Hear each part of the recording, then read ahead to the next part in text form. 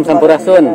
Hari ini hari ke-6 para eh, pelatih belajar tentang permakultur untuk eh, kemudian mereka akan melatih guru-guru dan kepala sekolah SMP.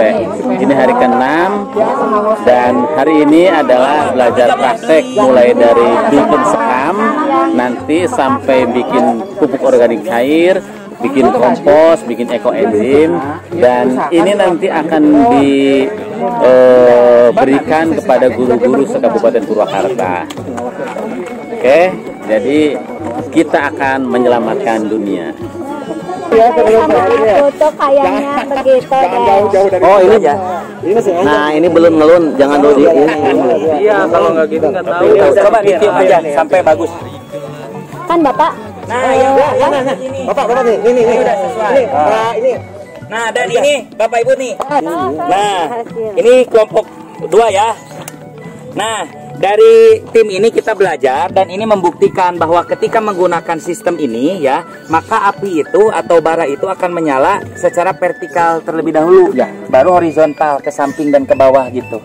Nah awalnya dari bawah itu api itu ngerambatnya ke atas Betul, betul. vertikal kan. Nah dari vertikal ini baru turun ke bawah. Hori- dan dia horizontal ke sini akhirnya. oh, gitu. Nah, ini membuktikan kalau ini di, tanpa ada teknik ini, maka ini tidak akan teratur begini. Betul. Akhirnya ah, sebagian akan jadi abu, akan gosong. semaunya api ya. Iya gitu. Jadi kalau ini teratur gitu. Jadi panasnya di sini di tengah dia terhantarkan. Sip. Ya, ini membuktikan. teorinya ini, teori apa? Nah, Ada guru IPA. Guru IPA, guru IPA. Panjang, panjang. Ini secara fisika gimana nih masalah masalah per, apa, pergerakan api? Pergerakan api itu perubahan fisika kanan kanan kanan di bagian bawah dengan tekanan di bagian Ah, Ya ini hubungannya dengan tekanan. Jadi ketika si asap apa si api itu kan tekanan itu dari tekanan rendah ke tekanan Yes. tinggi. Nah tekanan yang di bawah itu lebih rendah, eh, tekanan yang di atas lebih rendah daripada yang di bawah. Jadi dari bawah dulu naik ke atas. Gitu. Secara vertikal dulu. Nah nanti sistemnya ke sini adalah sistem pembakaran. Jadi pertama kan bagian yang ram dulu, kemudian vertikal, kemudian secara horizontal ke samping. ini perubahan apa? Ini adalah namanya perubahan kimia. Kimia. Jadi perubahan kimia itu adalah dari misalkan dari ini bahannya adalah sekam, kemudian berubah menjadi arang. ya. Nah, dari arang tidak bisa lagi menjadi sekam biasa. Itu namanya perubahan kimia. Permanen. Perubahan kimia itu perubahan yang tidak bisa kembali ke posisi awal. Perubahan ya? Ya, kalau perubahan fisika itu bisa kembali. Contoh, air, bisa berubah jadi es, es bisa berubah jadi air. Itu fisika. Kalau ini adalah kimia. nah, yang kita harapkan ini jangan berubah jadi abu, tapi berubah menjadi arang. Sesuai yang diharapkan. Arang, karena di arang itu juga tetap mengandung yang namanya karbon. Iya. Nah, semacam itu. Dan karbon berguna untuk Nah, lubang-lubang pertumbuhan. Karbon sangat berguna untuk pertumbuhan. Pada itu. Pembelajaran IPA ya. Di karbon arangnya itu kenapa Iya, mesti mesti mesti arang bukan abu? Karena di arang itu masih ada rongga. Nah, rongga itu tempat sarang Bakteri. dari mikroorganisme. Bukan bakteri. Kalau Ini secara yang, fisika yang, yang diperlukan dari kegiatan ini. ya betul Pak. Belajar. Jadi ada sisi ilmiahnya.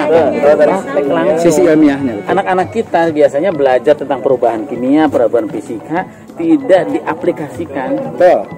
Belajar Nah, tentang karbon tidak diaplikasikan dengan bagaimana Jadi dia membuktikan bahwa dia tuh nyalanya vertikal dulu. pertumbuhan Betul. tanaman. Hanya sebatas mengisi soal, Pak. Ngisi soal. Betul. Paling banter pertumbuhannya, eh, prakteknya di ruang lab ya perubahan kimia ngebakar kertas. Ya. Nah, tapi kertas itu manfaatnya apa enggak? Kalau ini langsung dipraktekkan. Aplikatif. Manfaat untuk Ya. dan nilai kertas itu langsung jadi abu. Kalau ini berubah jadi arang.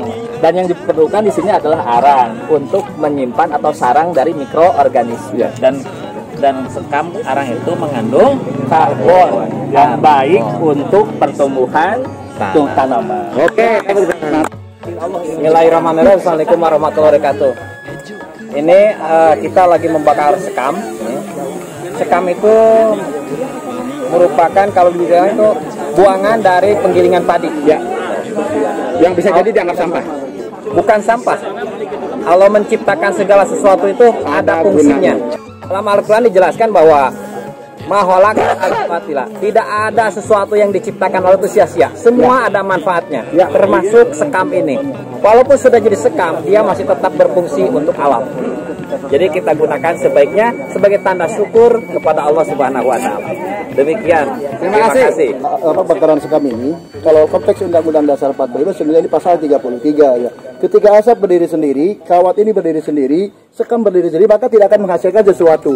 Itu sama dengan ketika politik, ekonomi, sosial berdiri masing-masing, maka tidak akan melakukan sesuatu bagi bangsa dan negara. Nah, ketika ini bekerja sama, diikat dalam suatu kegiatan, maka menghasilkan sekam untuk bahan media tanam. Itu dari sisi pendidikan keluarga negaraan. Pasal 33 Undang-Undang Dasar 45. Ya.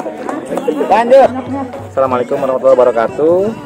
Eh, Bapak Ibu guru, kita akan membahas tentang bagaimana cara mata skam ini dikaitkan dengan mata pelajaran matematika, terutama untuk eh, bab tentang bangun ruang di Cilengkung yang ada di kelas 9 semester 2 kebetulan ya. Di sini media yang kita gunakan adalah eh, ram kawat atau jaring-jaring kawat yang jari-jarinya atau maaf eh, ukuran lubang-lubangnya kurang lebih 1 cm ke bawah dibentuk sedemikian rupa sehingga membentuk pola tabung dengan tinggi kurang lebih satu meter. Kalau bisa seadanya ram kawat tersebut saja. Nah biarkan nanti anak menentukan sendiri kira-kira butuh lebar ram kawat berapa sentimeter atau berapa meter sehingga terbentuk sebuah tabung dengan diameter 10 cm kurang lebih 10 cm jarak dari itu untuk diisi oleh bahan bakar sebagai pembangkang nanti anak akan menentukan oh kira-kira pak kalau misalnya 10 cm itu dia membutuhkan keliling nah itu minimal sekian. Maka biarkan anak memotong ram kawat tersebut dengan ukuran lebar sekian meter tadi. Kemudian mereka menggulungnya dan membuatnya. Betul tidak ukuran mereka yang mereka buat itu bisa terbentuk sebuah tabung seperti ini mudah-mudahan bisa diaplikasikan di dalam pembelajaran bapak ibu semuanya terima kasih assalamualaikum Jadi untuk pelajaran bahasa Indonesia, pembuatan sekam ini tentu berkaitan dengan berbagai materi pelajaran. Ya. Namun pada kesempatan ini akan eh, dikaitkan dengan materi tentang teks laporan percobaan. Oh ya. Jadi teks laporan percobaan itu kan melaporkan hasil pengamatan secara sistematis, Ya. secara ilmiah. Jadi dimulai dari tujuan, apa tujuannya pembuatan sekam ini uraikan, kemudian sebutkan alat dan bahan yang diperlukan. Setelah alat dan bahan diperlu- yang diperlukan ada, uraikan tata cara pembuatannya dari awal sampai akhir. Setelah itu, hasilnya bagaimana? Hasil percobaannya bagaimana dan terakhir simpulkan seperti apa. Ya, jadi dari eh, apa namanya dari pembuatan sekam ini dari awal sampai akhir bisa menjadi sebuah teks laporan percobaan untuk siswa kita. Terima kasih. Assalamualaikum warahmatullahi wabarakatuh. Sampurasun. Nah, anak-anak, hari ini kita akan mempraktekkan pembuatan sekam bakar. Sekam bakar ini sebagai salah satu bahan untuk penanaman tanaman kita sebagai media tanamnya yang dicampur dengan air dan tanah. Nah, sekam ini dibuat, sekam Ya, bakar ini dimulai dari pembuatan cerobong eh, cerobong asapnya, cerobong apinya dengan menggunakan eh, kawat ram. Nah, kawat ram dibentuk sedemikian mungkin. Setelah itu dimasukkan kertas, eh, dimasukkan kertas dan eh, ranting. Nah, sekam kita kita aburkan, sekam eh, sekam yang keringnya diaburkan hingga membentuk bulatan dan dibulat tengah-tengahnya untuk penyimpanan cerobong. Setelah itu nyalakan cerobongnya sampai keluar api. Setelah keluar api, sekamnya sedikit-sedikit dimasukkan ke dalam sehingga dia e, membentuk lingkaran yang sama tinggi dan besarnya. Nah, ini harus jadi arang, tidak boleh menjadi abu, sehingga kalau sudah ada yang hitam ini harus ditutup. Oke, sekian, terima kasih. Assalamualaikum warahmatullahi wabarakatuh. Good morning everyone. Okay, in this activity, especially in English class, we can uh, practice it in class 9 and class 7. In class 7, we can uh, make, um, make this activity in descriptive text. And in class 9, we can make this activity in procedure text. Okay, this is about how to make post-it hearts. Okay, class. Okay, uh, children. I think you can applicate this activity in your class. Have you a good time.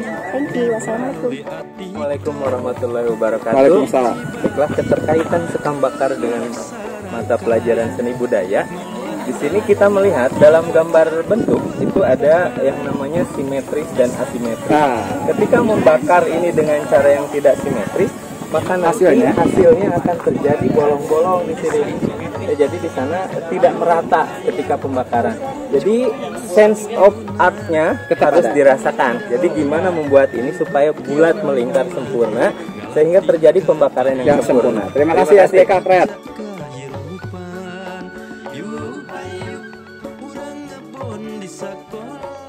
Assalamualaikum warahmatullahi wabarakatuh.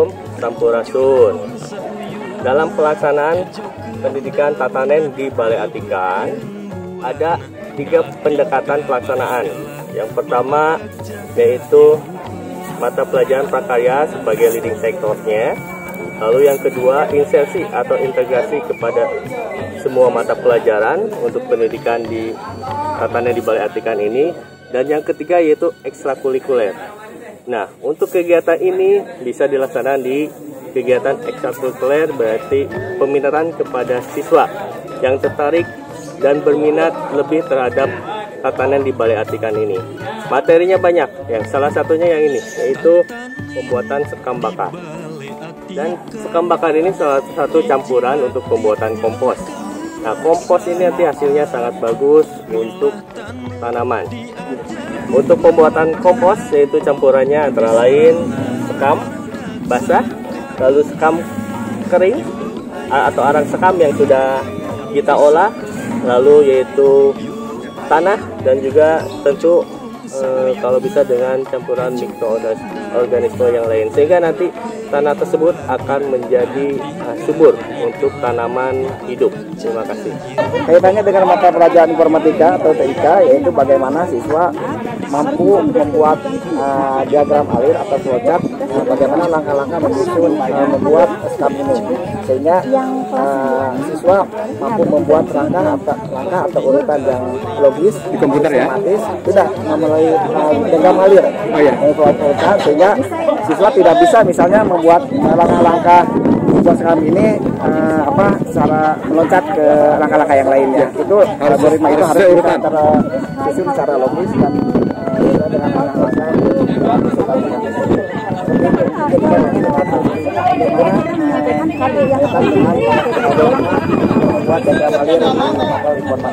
Tatanen di balai atikan Hiji bakti nyah kalemah sarakan